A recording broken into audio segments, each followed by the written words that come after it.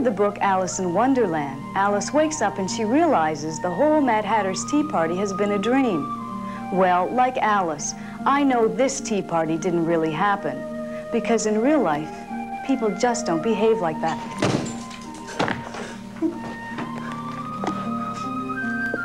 With pizzazz, I'm Therese Beaupre.